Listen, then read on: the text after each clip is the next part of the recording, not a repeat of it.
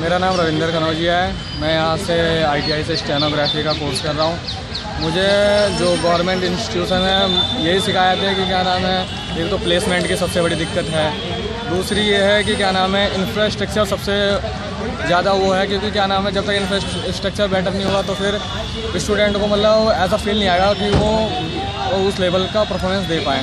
तो ये आजकल की बहुत ज़्यादा ज़रूरत है। और जिस हिसाब से देश की आबादी बढ़ रही है, उस हिसाब से जो अब क्या नाम है आईटीआई के क्या नाम है, अट्ठारह केंद्र हैं। कुल दिल्ली में अट्ठारह हैं, बल्कि स्टूडेंट तो बहुत ज़्यादा हैं। तो इस हिसाब से कम से कम इनकी संख्या भी बढ़नी चाहिए, जिससे क्या नाम है, और लोगों को क्या नाम है, और बच्चों को एडमिशन मिल सके, ठीक है?